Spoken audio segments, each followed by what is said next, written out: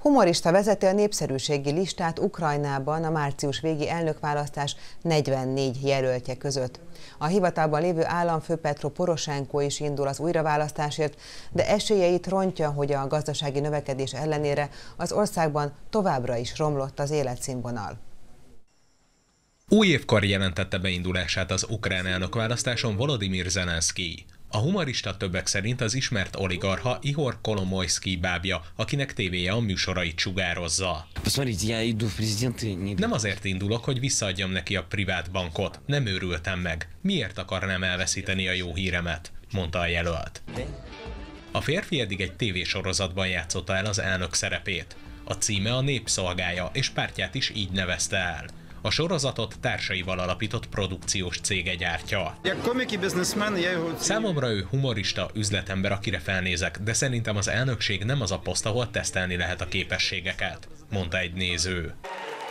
A humorista nagyon népszerű a 18-35 éves korosztályban. Az Instagramon közel 3 millió követője van, míg Poroshenko elnöknek kevesebb, mint 200 ezer.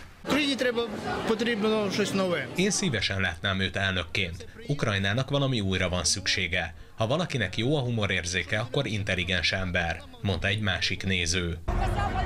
A jelölt a Facebook követőinek is jelezte, hogy várja javaslataikat arról, hogyan oldják meg a magas rezsiköltségek problémáját, vagy éppen kit látnának szívesen miniszterelnökként. Szerintem hasonlít Trumpra. Mindketten álmodozók, és az emberek készek elfogadni ezt, mert elegük van a régi politikusokból, mondta egy képviselő. A hivatalban lévő Petro Poroshenko újraválasztási esélyét rontja a romló életszínvonal. 2015-ben 43%-os volt az infláció, a gáz pedig 12-szer drágább, mint 6 éve.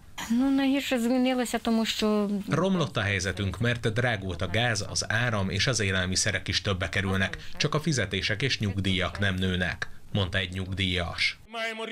Elemzők szerint Poroshenko a kisebbik rossz az IMF és a legtöbb nyugati partner számára jobban tartanak a többi jelöltől, akiknél a populizmus jeleit látják.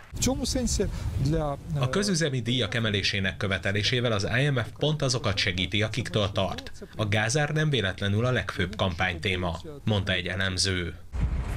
Poroshenko most újra a második legnépszerűbb jelölt. Ez annak köszönhető, hogy kormánya nyugdíjemelést ígért, januárban pedig független lett az ukrán ortodox egyház.